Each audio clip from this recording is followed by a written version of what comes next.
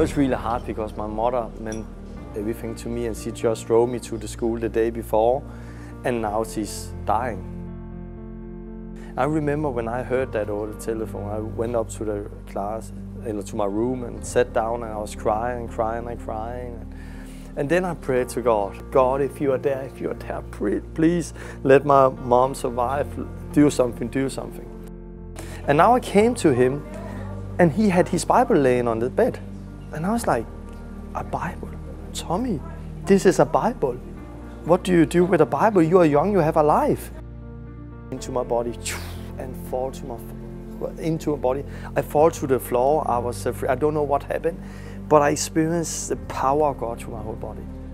And when I stood up, I was like, what was that? You are there. Not if you are there. It's like, you are there. But who are you? And, and my life got changed. And, and the first thing was I, I, I stopped sinning. I could not go on sinning. And I had the church and I have the Bible. I have my life and I had the Bible. In the church eyes, I was radical. But in my own eyes and in the Bible, I was, I was not radical because there was no fruit. I give you everything I have the next year. I do everything the next year. If I have not bear fruit when this year and over, take my life. I want to die. And so in the beginning of January, I took every food away and decided to fast 40 days. I experienced a fear of God I've never experienced before. And one time I came to that point, I have sinned against the Holy Spirit, I'm lost, I cannot experience salvation. It's over and out for me because I saw how much a sinner I was. I saw how much I had messed up. And from that day on, I started to see the power of God.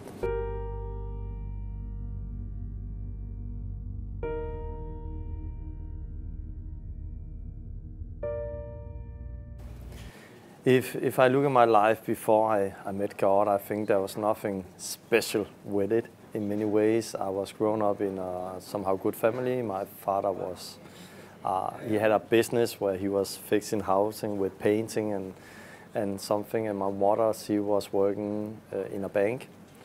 And I grew up with two big brothers. Uh, I was baptized as a child in the Lutheran church as a baby. And I was confirmed when I was around 14 years old. And when I got confirmed, it was tradition. Like, like many other people in Denmark, I, I did it because I get a lot of gift. I did get it because I got a party and, and because now I was uh, adult.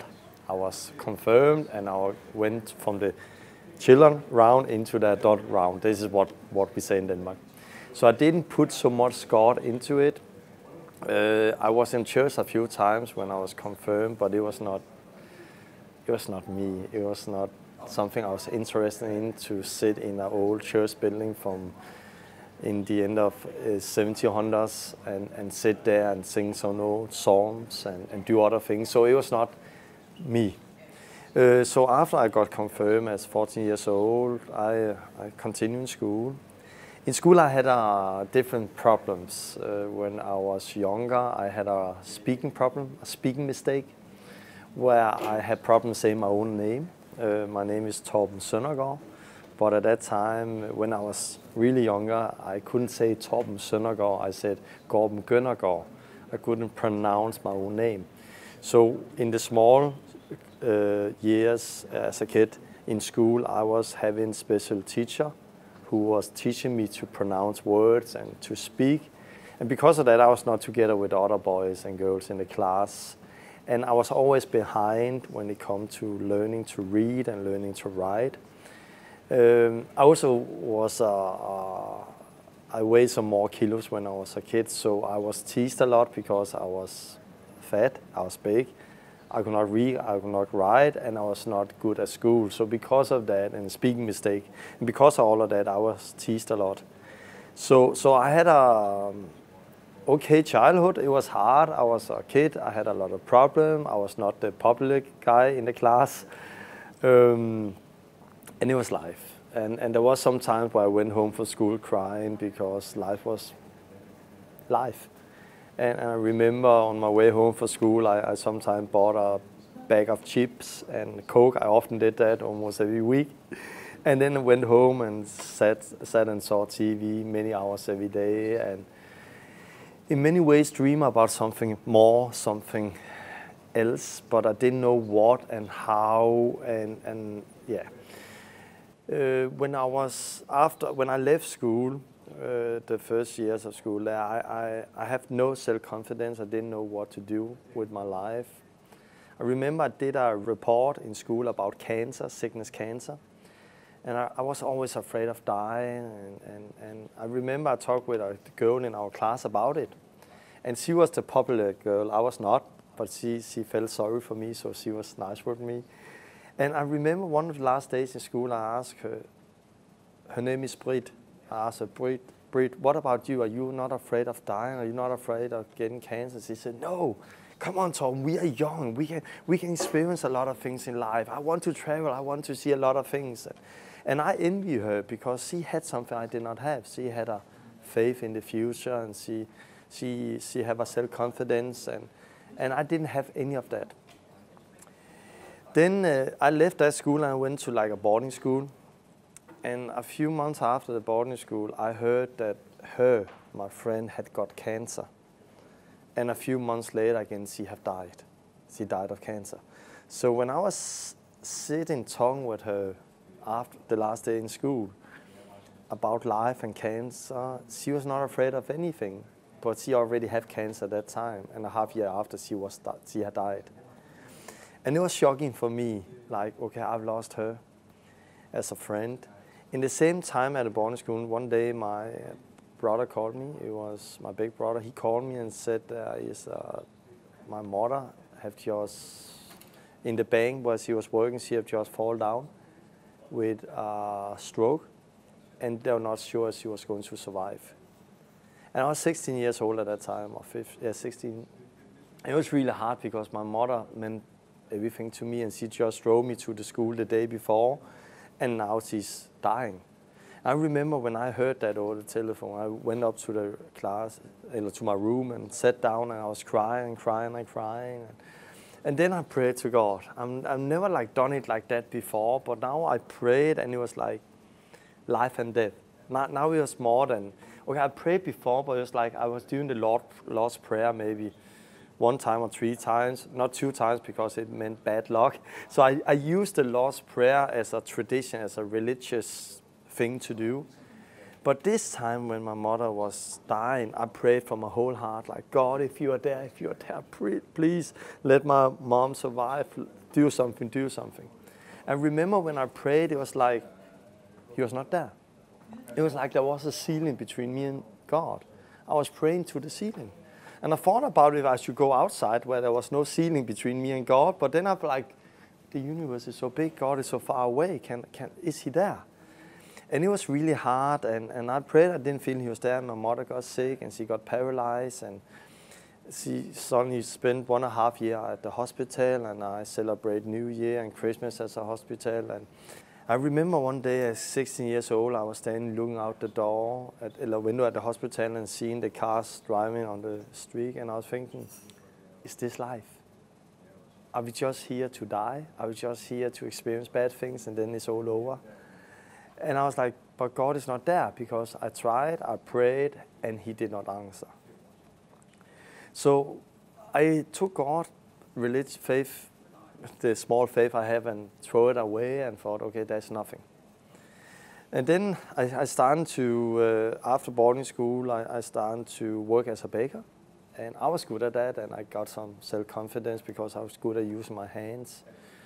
Uh, and, and I started to drink a lot, go to parties and get, got too much to drink. And, and in the end of it, I, I also started to fight a little. It's not because I was a bad boy, I was a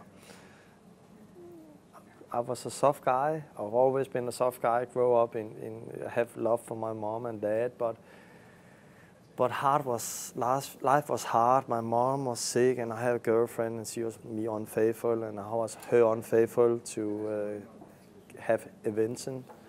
And and then um, I went started to fight in the city. I got too much to drink, and and at one time there was like a big guy fighting against a small guy, and went up to a big guy to find somebody on your own size, and it was me, and and, and I started to fight, and and I I did different things I don't want to do when I was drunk. I stole some bicycles because I don't want to walk home. I one time I took the car where I was really drunk. I was not able to drive, but I drove anyway. And and and I was I get got the wrong friends, and I was like tired of life, frustrated about my mom's sickness, my my own life, my girlfriend's life, and, and our relationship, and, and what I was doing.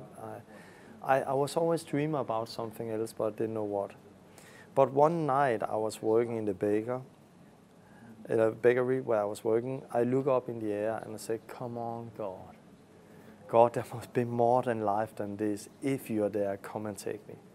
And I would say I have maybe a half, one and a half year between my mother's sickness and that where I didn't believe in God, but I came to that point, there must be something. There must be something. So I said, God, if you're there, come and take me. I, I want to know you. Are you there? Come and take me. But when I was saying, come and take me, it was just a desperation after him after something. But in my mind, I was thinking of UFO will come and beam me up and fly away with me. I was thinking of big angel will come and lift me up. I was thinking of a hand come down and ride on the walls. And I've seen a lot of videos of, of about the supernatural on TV, and and I wanted something supernatural. I want something that was real. I didn't want what I got when I co- confirmed in the state church, but because it was not real, it was just religion, it was tradition. And I didn't want tradition. I don't, didn't want to sit in church every Sunday and believe in something. And then one day I'm going to die and I'm going to find out that everything I believed was wrong. And I have wasted my life sitting in church every Sunday. It was my idea and I didn't want that. I want something different. I want something I could touch, like this table that was real. So when I said, God, if you're there, come and take me, it was not Christianity, it was not Jesus, it was not religion, it was more something supernatural something.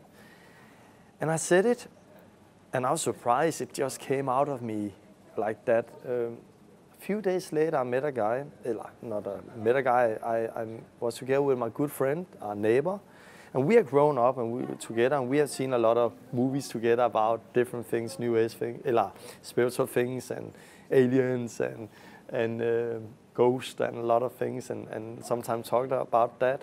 And now I came to him, and he had his Bible laying on the bed. And I was like, a Bible? We had never talked about God like that, and he had, and especially not the Bible. And, and I said to him, Tommy, this is a Bible. What do you do with a Bible? You are young, you have a life. Because I thought Bible was for old people sitting in the church who didn't know other other things to uh, had other things to do. So I was like, a Bible, what do you do with that? And he said, Tom, I met God. I have experienced Jesus. And I was like, what? No, no way. No, you can believe in God, but you cannot experience it. I have. I have experienced Jesus. And he told me how he experienced Jesus. In many ways, it was some of the things I've been dreaming of more, something that's real. But I was really skeptical. I was like, he was brainwashed. He was started in a sect. They were just out after his money, and I, as the smart guy, need to make him normal again. It was my idea. So, so I listened a lot to him and talked a lot with him about it in that period, but it was more to figure out where he was wrong so I could make him normal again. Uh, but he told me about Jesus and about what he had experienced, and, and we talked about it. And, and a few days later, there was a program on TV uh, about from a church about something with God and Jesus and so on, and say, okay, let's sit, uh, see it together, and we saw it together. And when we saw that program together, I was thinking like, okay, let's see. Now I can find something wrong in, in all of this. But in that program, there was a girl who got prayed for. After she got prayed for, you saw a, a tear running down her cheek. When I saw that, it did something in me. Because here I had my friend who have told he have experienced God. That girl have experienced something, something I could not see, but she have experienced something. Otherwise, she would not start to cry. And here I was, baptized in a Lutheran church, confirmed as a kid. Thought I was a Christian because in my mind, to be a Christian is to be baptized, confirmed, be a good person, live in Denmark. and I thought I was a Christian, but I've never experienced God. I, and I was like, what is this? And, and I did like this, like, what is it all about? I've never experienced God. So I said to my friend Tommy, if you can experience God, I will have it. And he looked at me like, okay, and really surprised because I was I had been skeptical until that day.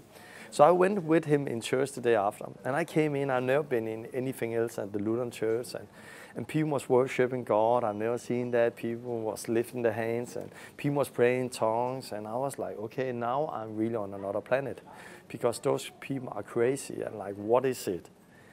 But I felt they had something I did not have, and and the guy, who was preaching, uh, talking about Jesus that day, he asked if somebody wants to repent and, and give life to Jesus. I didn't know so much about it at that time, but my heart beating really fast. I felt like it's me and like I want it, I want it. And and I went up and, and prayed and talked with them and, and they prayed for me and the Holy Spirit came over me. It was like the Holy Ghost just came into my body. I was standing with my eyes closed. I didn't know what to expect. I never experienced anything before. And it was like a light came into my body and fall to my into my body. I fall to the floor. I was afraid. I don't know what happened, but I experienced the power of God through my whole body. And when I stood up, I was like, what was that? And somebody said, congratulations, Tom. Like, you are you are experienced God. You are born again. I'm like, what is? I, I don't know what it was, but something had happened. And when I jumped on my bicycle and went home that day, I was looking up in the air and said, Hi. It was like before, as a bake in the bakery, I was saying, God, are you there? Now it was like, You are there. Not if you are there, it's like, You are there. But who are you? I don't know him. I experience him. He has touched me. He has done something in me, but I don't know him. And I was like, whoa. And I was like, what happened with me? And the first thing was like, I was always afraid of dying. But now I was not afraid anymore. I'm like, yeah, I'm going to die one day. I'm going to go home. And like, what is happening? I came home and, and I looked myself in the mirror and said, what is happening with me? And, and my life was changed from that moment on. The fear of dying was gone uh, I experienced a peace inside. I experienced a strength inside. Like now it was like I could take the whole world. Before I still didn't have much self-confidence. I didn't know what to do with my life. I was never good at reading and writing. I was never good at school. I was not that at that time, still.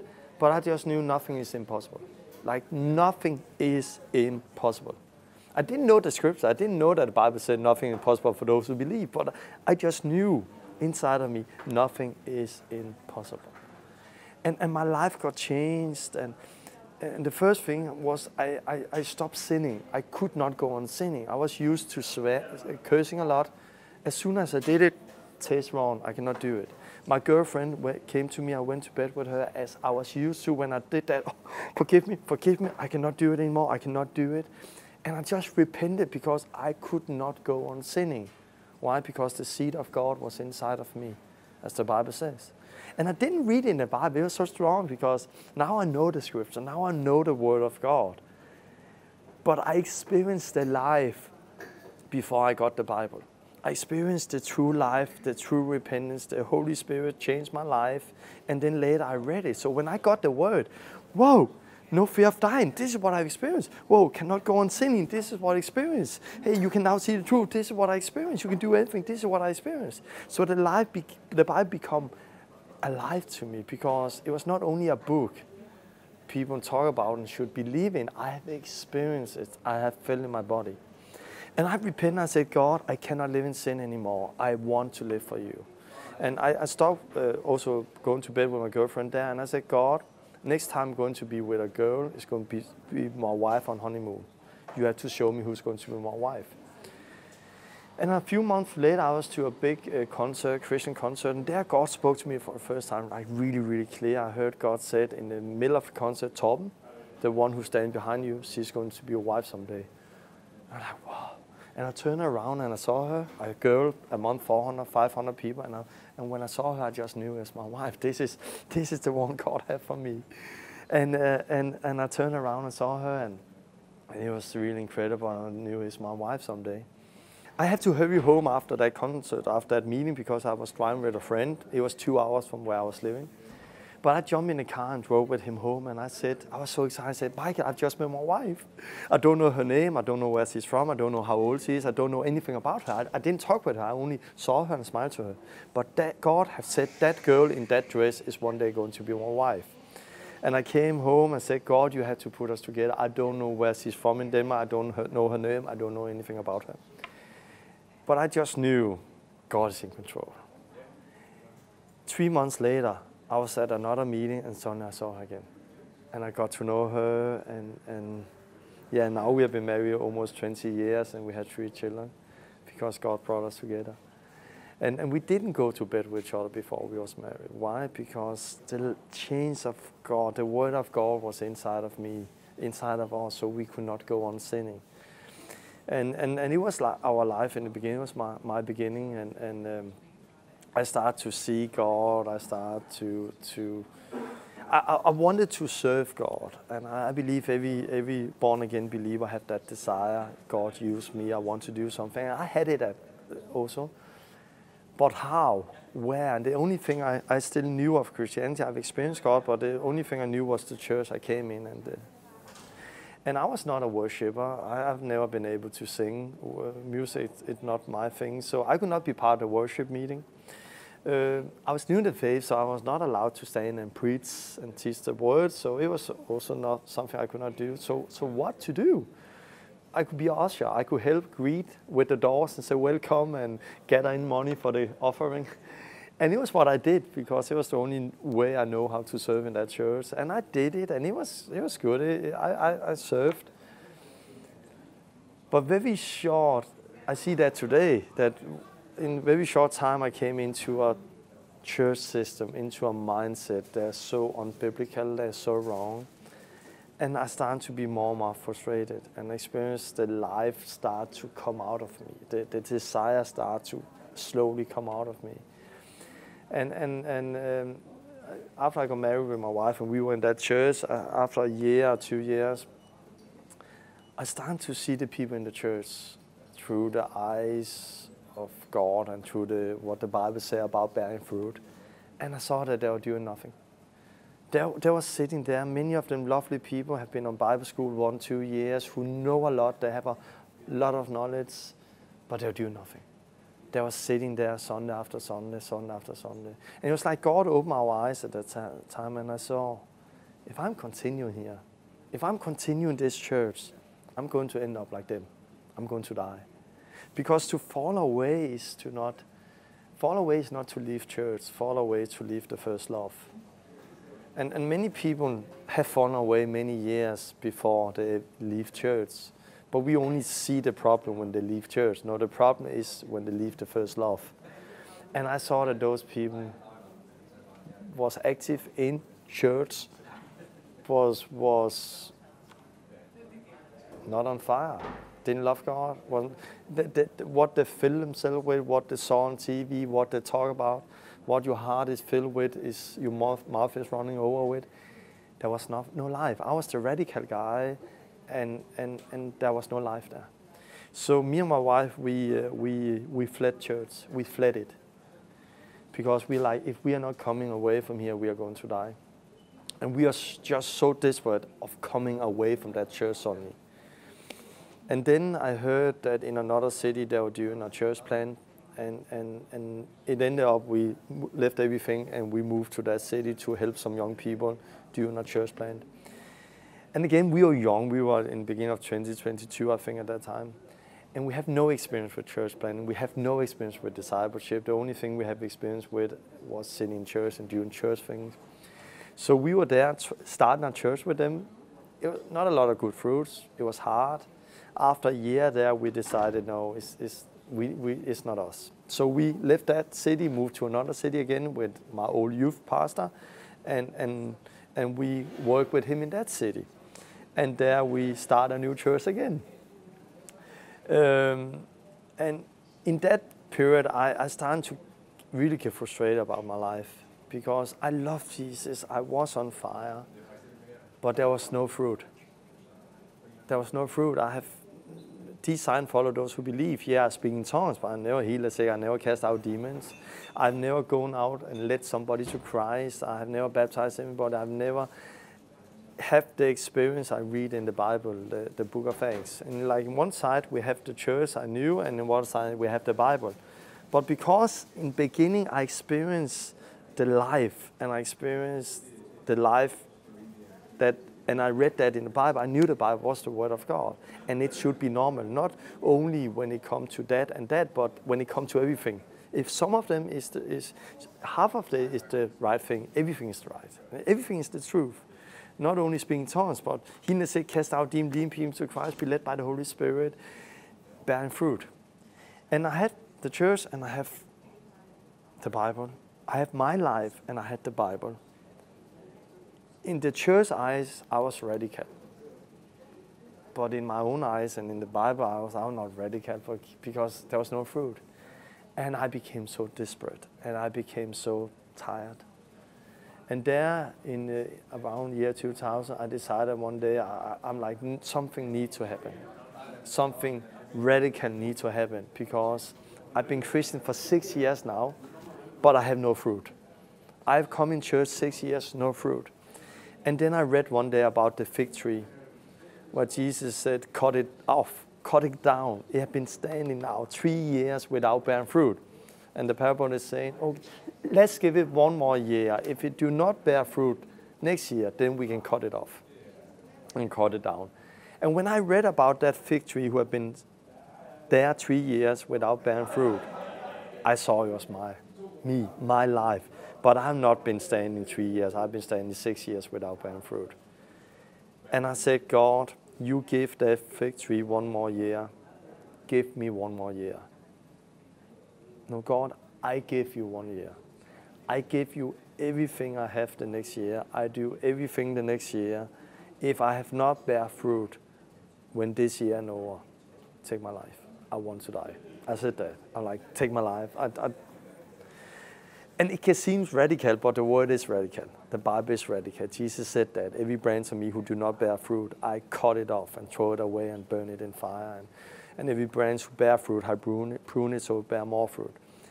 I said, God, I give you one year. And so in the beginning of January, I took every food away and decided to fast 40 days. I want to bear fruit. So I started 40 days fast, something I never heard about people was doing. And through that 40 day fast, I fast because I want to bear fruit, but it was interesting. It was not the fruit God started with, He started with my life. I experienced a fear of God I've never experienced before. I experienced a repentance I've never experienced before. I experienced a holiness I've never experienced before. And one time I came to that point, I have sinned against the Holy Spirit. I'm lost. I cannot experience salvation. It's over and out for me. Because I saw how much a sinner I was. I saw how much I have messed up. And it was really hard. And, and, and there was a few days where I went through like a deep, deep deep, deep like, I'm lost, I'm lost, I'm fire, hell is burning under me, I'm lost, I'm going to hell, I'm, I'm lost forever. And like, like almost like we read in, in, in revival histories, and I went through that, I'm like, what is happening? I couldn't eat, I couldn't sleep, I couldn't do anything. Um, but there I experienced the grace of God, I experienced, whoa, I am forgiven, I'm still forgiven, I'm still on the road. I should not take it for granted. I'm still on the work. I should work on my salvation with fear and tremble. I should really keep me close to Jesus in all times. And, and, and I got a lot of revelation in that period of fasting, and, and I experienced a freedom from sin I've never experienced before. It was like Romans 6, 7, 8. I was studying them a lot, and I saw that many people live in Romans 7 and think this is the normal Christian life. The bad things I do not do, I, do, and the good thing I don't want to do, uh, I do not do, and so on and so on. Um, and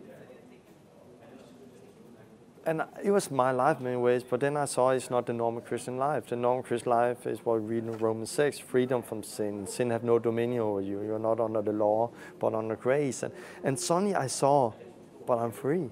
I'm free from sin. I don't have to sin. I'm not on the law anymore. And it became a big, big revelation for me. And I stood up in my office and like, but I'm free. I'm fr- but then I don't have to sin anymore. And I have repentance for, when I got saved, I repented from the big sins. But now it was like there was still a few things that was keeping on to me. But suddenly it was gone. And I felt I'm totally free. Free not to sin. And it was like a new beginning in my life. And it was like, it was so radical that to be honest, I was not sure if I really was saved before. When I look back the first six years, because it, it, it was so life changing like the first time, first time I got saved. It was so life changing and something new happened to me. And I started one day to write down a lot of revelation I got out of that and the teaching. And, and then I said, but, but what shall I do with this? It's, it's teaching for Christian. I've never teach anybody. I was going out in man's life, but I've never seen any fruits. And I'm not, what shall I do with this? And then God spoke to me very clear. Not like a voice, but still, He said, Torben, write a book. And like, what? Write a book. And, and turned and looked up like, what? But God, I cannot read. I'm not, have you forgot? I'm, I'm not good at school. I've never written a book in my whole life. I only read one book my whole life before I became a Christian. I, I'm not good at it. And he said, write a book. I give you one chapter each day, Sunday you should not write. I'm like, okay. And there I had two weeks that really impacted my life, where every day he gave me one chapter. I woke up in the morning and prayed for an hour, spent time in the Word, and then I wrote a chapter.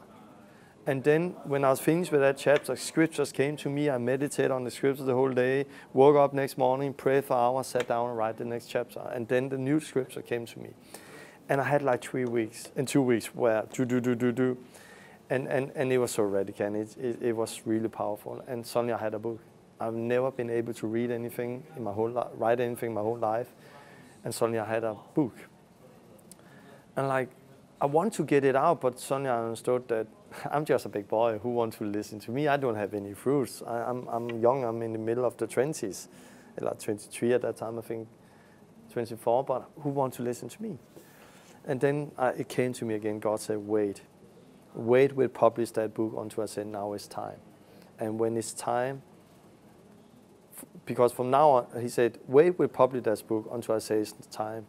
From now on, I'm going to confirm this word in your life and when it's time, people want to read your book. I said, okay.